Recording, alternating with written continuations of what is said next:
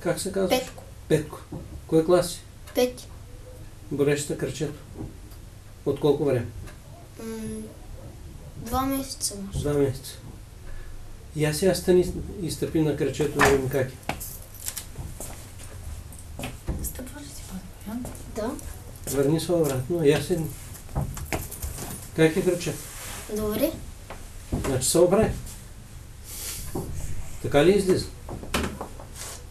Кажи де. Да. Сега боли ли те кръчето? Малко. А преди Е, преди не може да стъпвах. не можеше да стъпваш. Я стъпи на това кръче и подскочи. Как е? Добре. Значи можеш да подскачаш. Да. Изправи се да видим, стъпи, подскочи. Как е кръчето? Добре. Нямаш проблем. Абсолютно. Ще стъпваме. Никъде.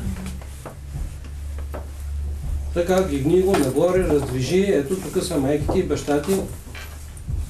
Я излез вънка и си се разходите.